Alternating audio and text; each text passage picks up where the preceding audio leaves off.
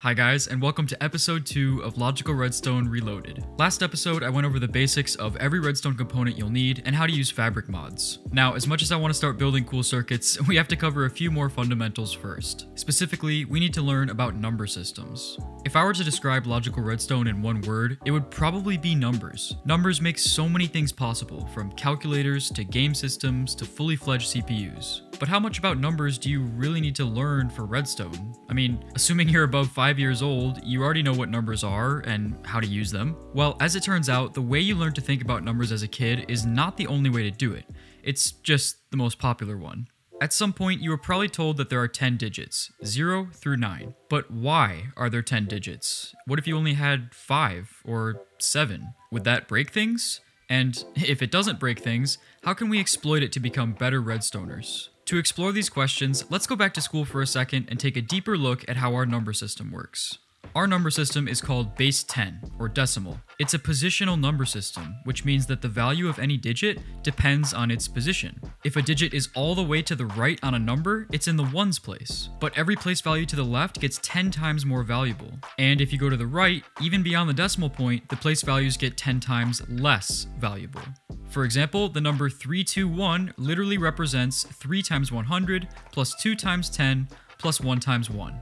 But why do we do this? Why do place values have this relationship? Well, I think the easiest way to see why is by counting. Let's say that all you have is the ones place and you want to count up as high as possible. So you start at 0 and start counting up. 1, 2, 3, all the way to 9. And at this point, you've counted up 9 times, you've stayed completely in the ones place, so there's no problem. But if you want to count up one more time, you have an issue. There's no symbol you can put in the ones place to signify a 10. So, without making a new symbol, how do you signify that you've counted up 10 times? I mean, you can make another ones place, but then what's going to happen when you get to 30 or 40? that strategy won't scale very well.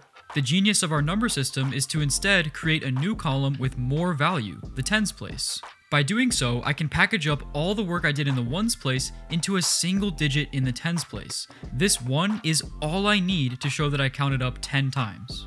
And that's why place values have this relationship. In base 10, every 10 counts of work you do in one place value is equal to one count of work in the next place value. Okay, now that we have a good understanding of base 10, let's go back to my earlier question. What if you don't have 10 symbols? Well, let's try it out. Let's say we're using a new number system where there are only four symbols 0, 1, 2, and 3.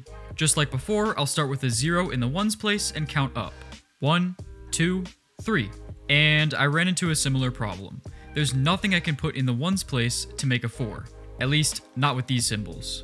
So, a good solution would be to make a 4's place and put a 1 there. To be super clear, what we're saying here is that the number 1, 0 represents 4 in this new system, because it's 1, 4 and 0, 1s.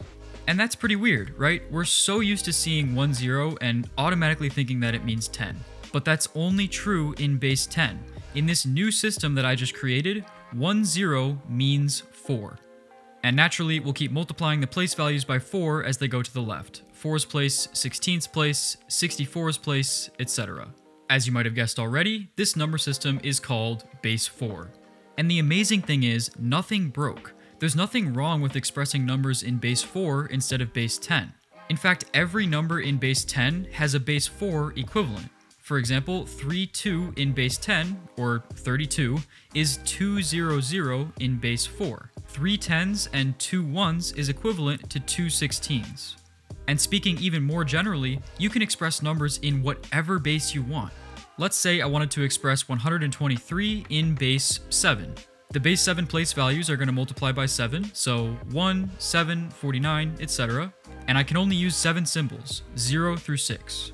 As it turns out, 123 is made up of two 49s, three 7s, and four 1s. So 2, 3, 4 is 123 in base 7. Okay, now we know how bases work, and it's clear that every base is an equally valid number system. So if our goal is to express numbers with redstone, which base should we use? Well, if we pick a base that naturally resembles the state of redstone, it'll probably make things a lot easier. There are two common ways to view the state of redstone. You can view it as just on or off, giving you two different states, Or you can view it in terms of its signal strength, which gives you 16 different states, 0 all the way to 15. As a result, the most common bases to use with redstone numbers are base 2 and base 16. Let's talk about base 2 first. Base 2 is also called binary. It uses two symbols, 0 and 1. Typically, redstone that's off is used to represent 0 and on represents 1. Just like every other base, we start with the ones place, and then the place values scale by the base. In this case, they go 1, 2, 4, 8, 16, etc. As a quick example, let's convert 25 into binary. I can make 25 with 116, 1 8, and 1 1. I don't need anything else, so let's fill these in with zeros. And there we go. 25 in binary is 11001. If you're brand new to binary and want some more practice, try these conversions out. Getting comfortable with binary is really important for logical redstone, so I highly recommend it. For some terminology, a single 0 or 1 can also be referred to as a bit. Therefore, 25 in binary is 5 bits long. Just be a little careful with that though, because, for example, 25 can also be an 8 bit number. All you have to do is add 3 more zeros to the left, and now you have an 8 bit representation for the number 25.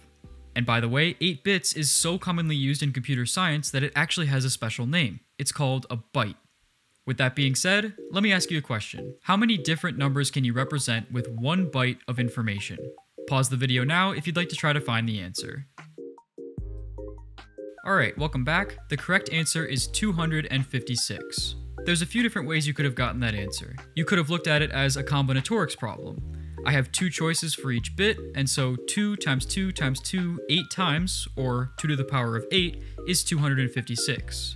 You could have also noticed that the smallest number we can represent with 8 bits is 0, while the biggest number is 255, and the range from 0 to 255 has 256 values.